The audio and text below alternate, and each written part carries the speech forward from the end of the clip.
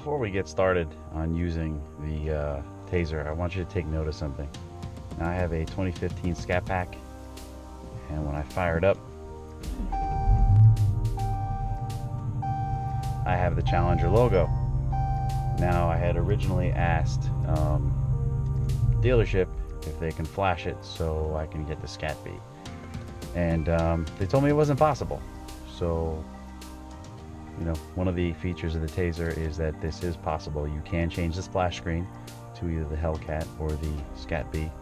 So let's see if that's possible. So let's get started. The first thing you got to do is you have to turn your car into the run.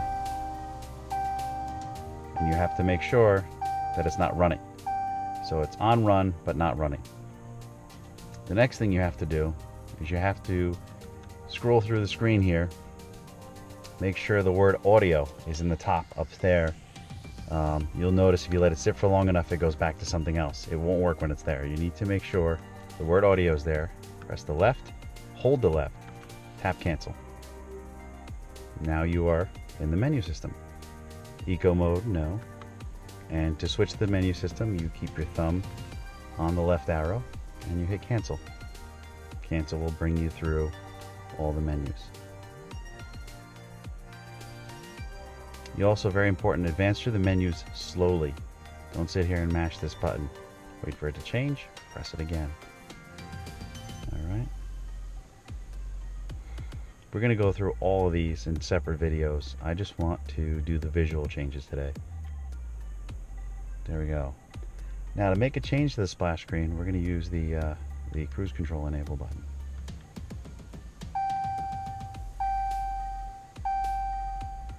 Okay, we got a Hellcat splash screen, don't want that.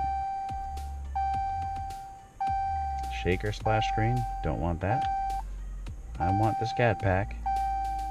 There we go. Now, you notice I released this button here. For this change, you notice it didn't pop up. The Scat Bee, for some reason, what you need to do, is you need to turn the car off. And I'm going to take you off the mount now. Turn the car off. Exit the car with the key. Close the door, and you're gonna need to wait 30 seconds to uh, for all the lights to go off. So we'll pick up in a second where we left off. Let's see, after 30 seconds, the reason for that is you just need to have the, uh, the dash reset, which means get the key out of the car, wait 30 seconds, let the doors close, let the screen shut off, and then start over.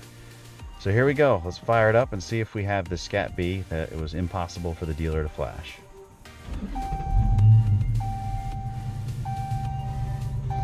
There we go. Piece of cake. Now, if you want the Hellcat splash screen uh, or the Shaker splash screen, I have a Shaker aftermarket shaker, shaker put on by Cervini's. I could throw that on, but ever since I saw this car for the first time, the Scat Pack announced that Bee on the dashboard, I thought was awesome. Um, and not getting it was kind of disappointing. So uh, now we've got it hooked up. So uh, that's it for today's video. We are uh, just working on visual changes, one menu at a time. Um, if you're interested in this Hellcat splash screen, you can go ahead and do that. Shaker splash screen, do that. You can bring it back.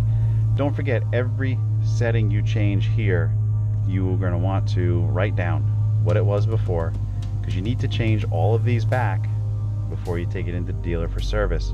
So it may not seem like a lot, but six, eight months from now, are you going to remember every menu change you made? No. So just write it down, keep it in your glove box, and this way it'll be available.